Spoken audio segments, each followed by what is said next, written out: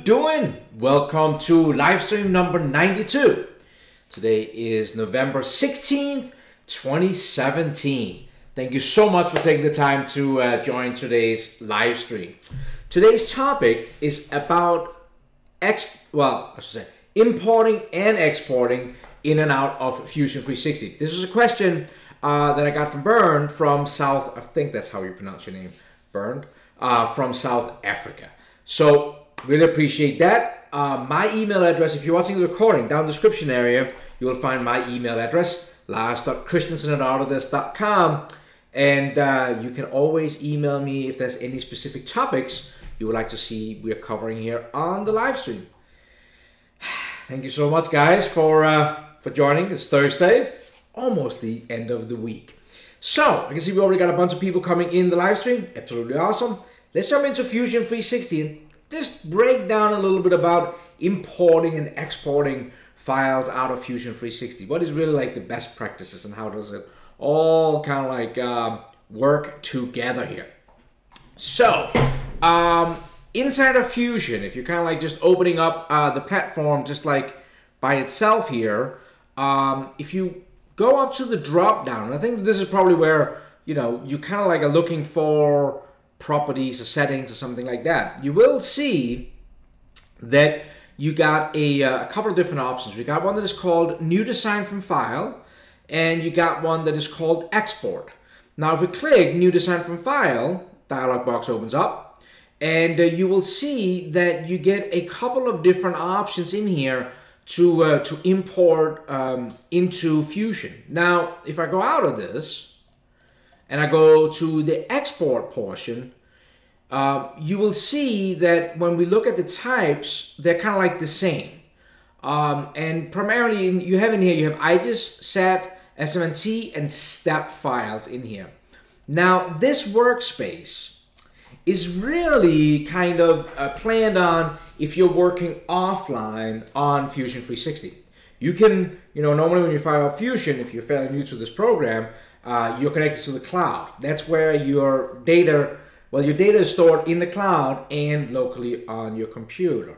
But this drop down with the IGES step files, SAT file, and SMT file is really just meant if you're offline, um, you can export out to these formats. Now, on the live stream, I have talked about some of these formats in the past. I kind of like broke down uh, the whole history behind step files and IGES files. But really, what they those are are uh, what is called neutral format of 3D files. So each CAD program out there kind of have their own um, you know extension of a file that that they use. But the IGES and the step are meant as like a neutral translator between CAD systems. So that's why those are there.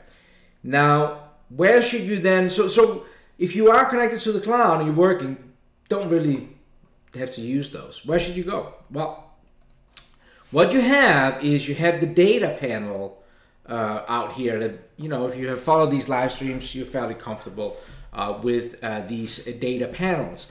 And here what we have an access to to do right in here is we can upload or import files to our uh, cloud storage facility for you as an individual user from this uh, data panel. So upload is the same as import. Um, and you can click on that and it will tell you that you can select the files that you want to bring in. Now when I select that, uh, you'll see I have a step file here.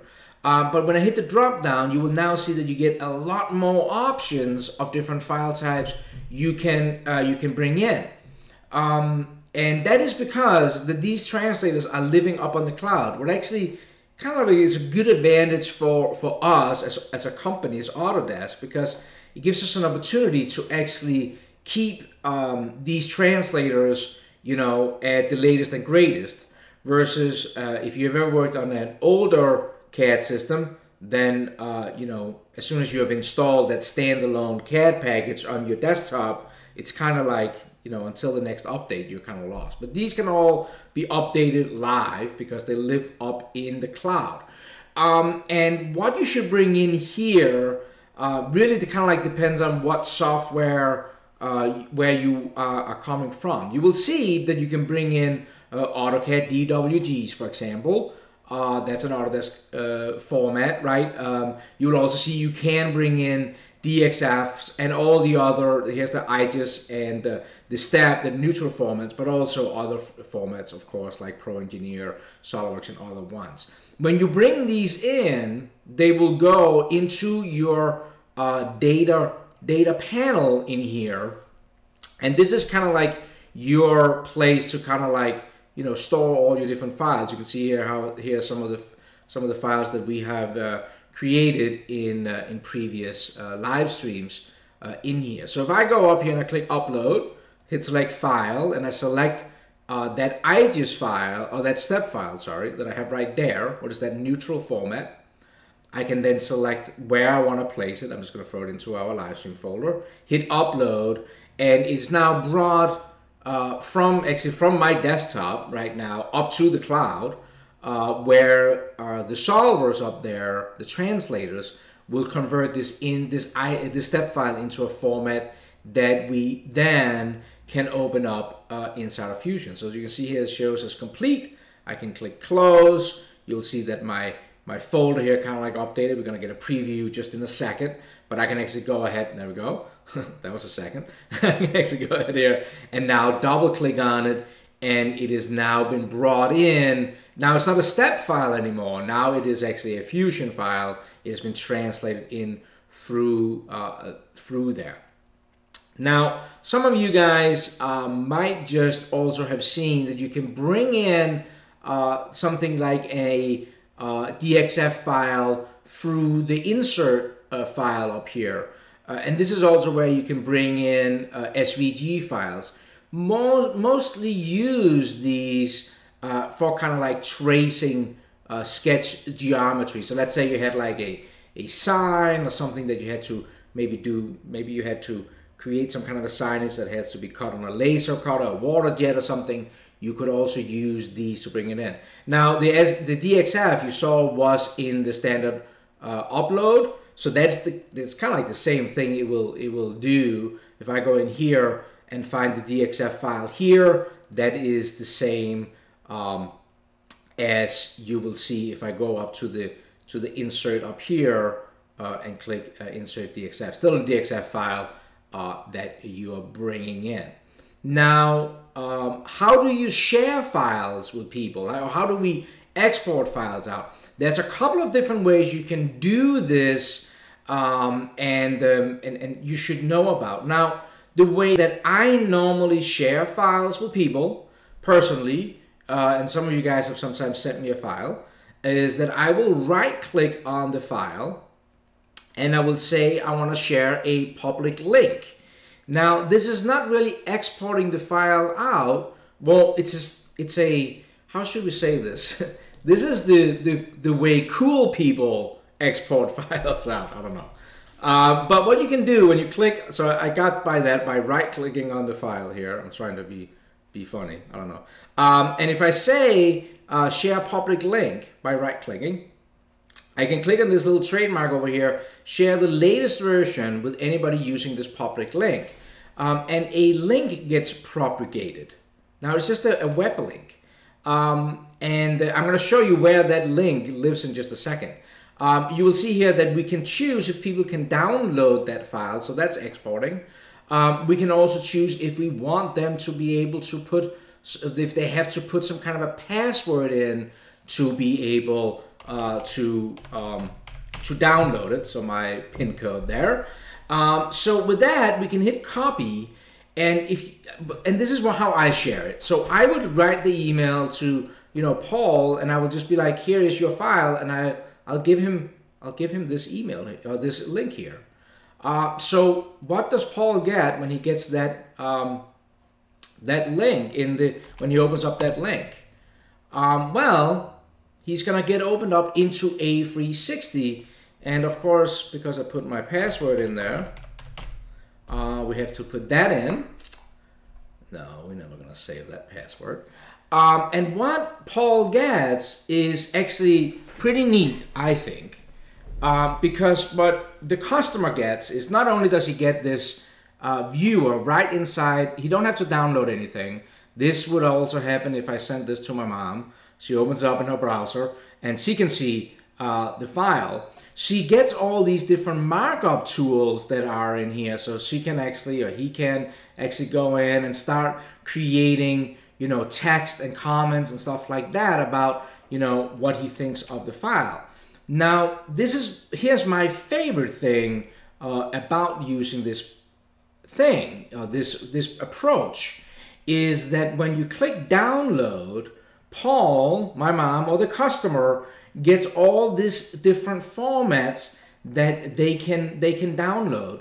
What means that the customer can actually pick what they want themselves. And the reason that I'm a big fan of this is because you know somebody always tells, well, I want IGES uh, files. Some person says they always want step files. Um, you know, um, whatever they, they kind of like want, they can pick whatever whatever they want uh, with with this way. Now, one of the questions Bernd had in his email was, so if I'm using this approach it, here, um, and, I, and I now go in and say, all right, I want to download this as an as a, a what happens for the customer side is they get asked to put in an email address because then uh, the download button gets sent to them so they can they can click on that because what we are looking at right now using that link is actually a secure hole into my uh, my data, right? We're actually looking um, kind of like inside of um, of here. Now this this data, I again I access this by right clicking and clicking share public link. Uh, but another way is you can actually go up up on top here, and if you click up on the name of your project, it will open up, and this is kind of like your hub, it's kind of called. Um, and here is where that file we're looking at here, where it's actually residing right now. So this is kind of like my uh, personal hub where we have all these different uh, live stream files. And I can go in here and we, if I search for it, I don't know, we can probably look up here last updated um, we can see here's that file right there. Now, if I, if so this is in my personal workspace, you will see I also get a, uh, an export button over here. And to answer Bernd's question, yes, this is, these drop down here are the same uh, as the same converters as the customer, Paul, or whoever gets over over here. So when I, when I go in here and I select that I want to say this is an, as an IGES, um, you will see that I, instead, I don't have to put in my email address, uh, right? But I get to, you know, we, because we already know what your email uh, address is, uh, but you will see that I will now receive in my inbox uh, a, a downloadable link to that. And you will also see that that link will be active for seven days from the time you receive the email, and then it's actually uh, then it's actually not uh, working uh, any anymore. Um, so that is really, um, you know, the gist of how you will share files. Uh, if you want to download them yourself to send them to a, a customer, you can absolutely go in here and say, I'm going to download it in whatever format, and then you can click the download box and it comes into your, um, you know, your down, um, your downloads folder. I but I prefer this one here because I just think it, it just makes sense. Not only the customer gets a chance to look at the file, uh, they can do measurements in here, and then they can choose whatever format they want to download uh, that file in.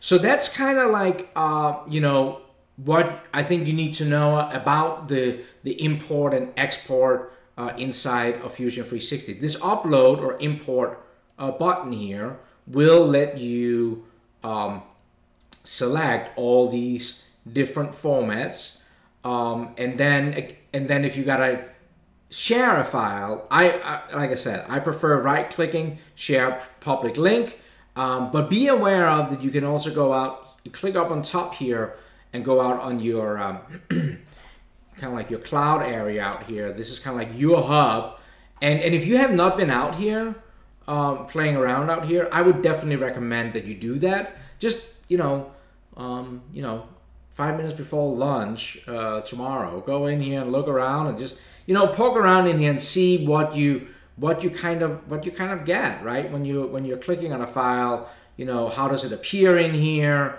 Uh, the things you can show up in here where parts are, are used, for example, uh, you can see that.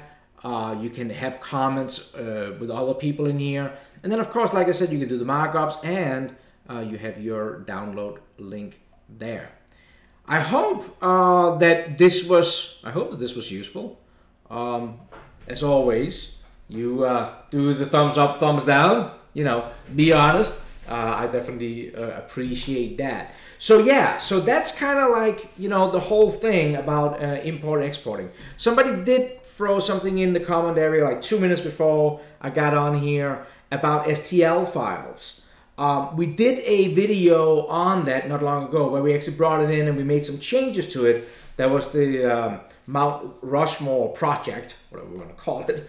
Um, if you are dying for that, go and find that on a live stream. If you can't find it, because we're getting up to 92 live streams, send me an email, man. Lars.christensen at autodesk.com. That was about what I was planning on uh, showing today. Hope this is useful. Again, this is just trying to add a little bit more value to uh, your Fusion experience. Email if there's any future topics. Subscribe to the channel if you haven't already. That's about it. Tomorrow, tomorrow's Friday. Friday is CAM. We're going to talk about post processors tomorrow. I'm going to show you how you can get more post processors for free by going out to the Autodesk library, how you can bring them, uh, download them, and get them into Fusion, how they work. Uh, so if you're into CAM, check out tomorrow, same time, 3 p.m. Eastern. Um, if you're not into CAM, have a great, great weekend and uh, hope to see you Monday then.